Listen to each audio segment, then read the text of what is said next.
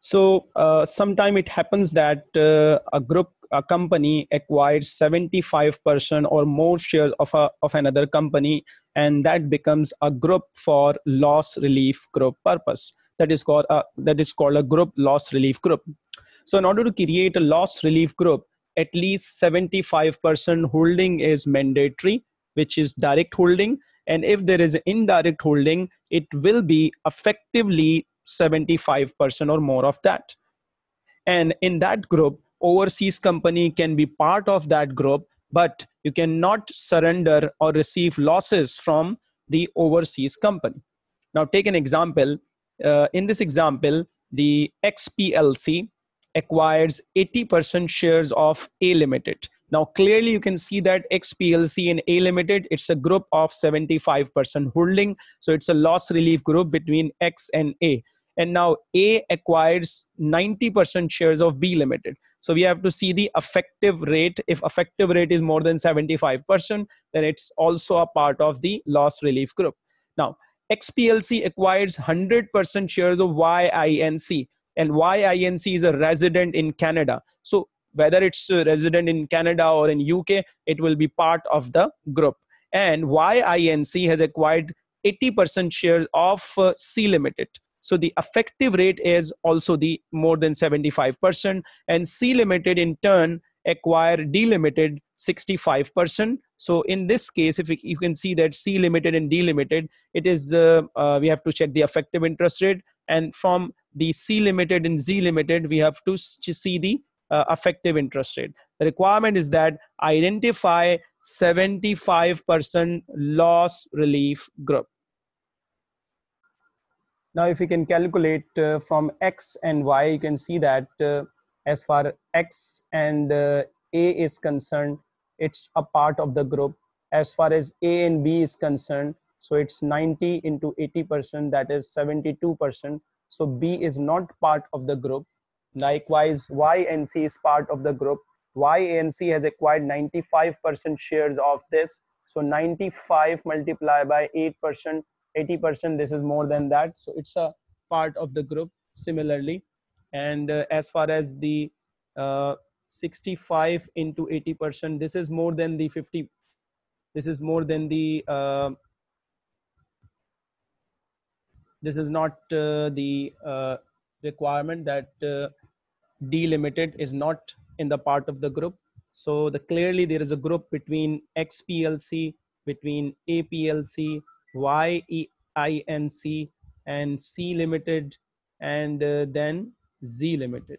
And D limited is not part of the group. Now there is a separate group between A and B because it's a 75% direct interest. So we have two group structure.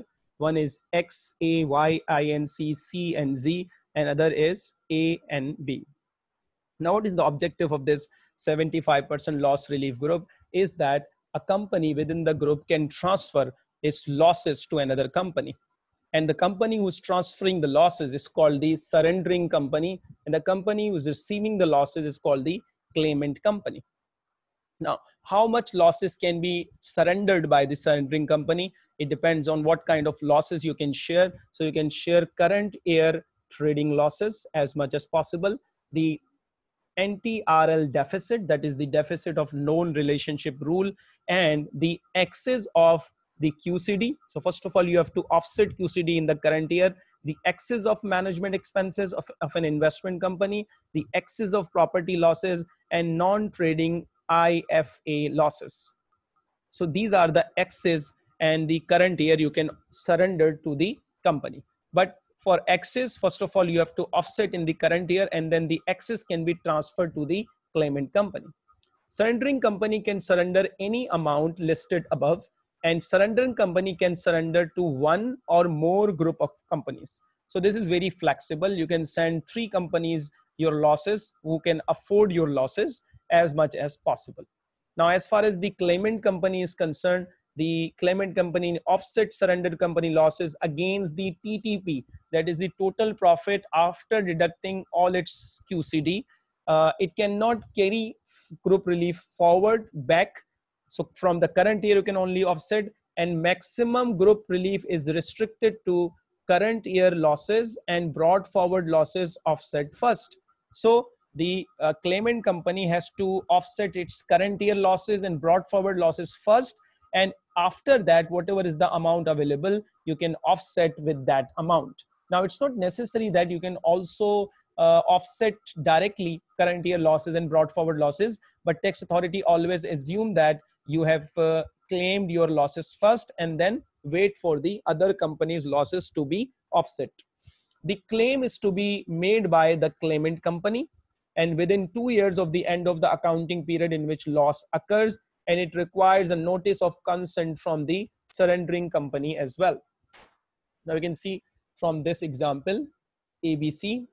So ABC acquires 80% uh, shares of uh, XYZ few years ago. 80% shares. So it means that uh, uh, ABC has uh, direct involvement uh, and that is 75% shares ABC hold. Now, both prepared accounts to 31st March accounting year are same. The results of ABC, the company that has acquired is trading losses 130,000, interest income, property losses, QCD, and capital losses of 12,000. Now you cannot transfer capital losses under the 75% rule. So you should avoid this capital losses here. Now, unrelieved brought forward trading losses, 50,000 maximum amount to be surrendered. So you have to find out how much amount to be surrendered. So you can see that uh, first of all, the current year trading losses separate, then find out the excess of property loss, losses brought forward, QCD and interest income. And this is the uh, total. So this total has offset with the interest income.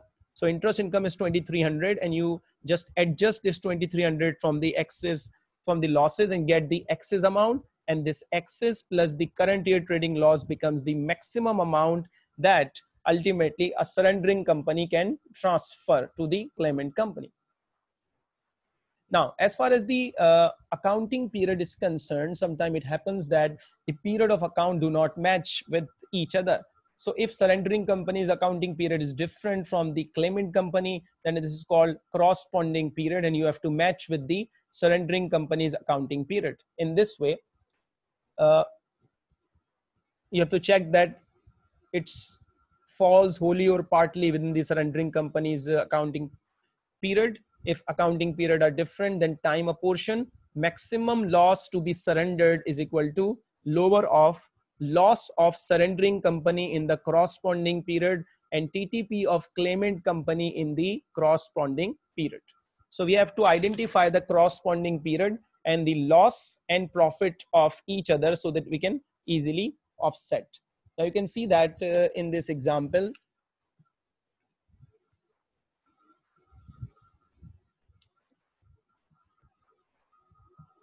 ABC and YZ are member of 75% uh, group. ABC accounting year end is 31st December and having trading losses of 1,50,000 while uh, the AP accounting year end is 30th June 2019 and having trading profit of 160,000 and QCD of 20,000. So calculate how much loss can be surrendered by ABC. You can see that the surrendering company's uh, accounting period starts from 1st January 19 to 31st December 19 and then check with the claimant company and match the time period so claimant company accounting year at 1st July 18 to 30th June 19 so you can see that the surrendering company's period of how much period is falls in the claimant company. So you can see that uh, uh, from 1st January 19 to 30th June 19. From 1st January 19 to 30th June 19, this is the period that is overlapping between them. So this is the period you can count it six months. So you can take surrendering companies six month losses. Trading losses is 1 lakh 50,000, but take 1 lakh 50,000 into 6 by 12 so this is 75,000 of loss that can be surrendered and claimant company 160 minus 120, 1 lakh 40,000 of uh, TTP 6 by 12 that is 70000 so surrendering company can transfer uh, 75000 but only transfer the lower off figure and that is lower off is 70000 can be transferred to the claimant company. Now the surrendering company has the option of offsetting the uh, losses against the carryback method, current year relief or carry forward, but also another group loss relief through which they can offset the losses against the 75% group of companies.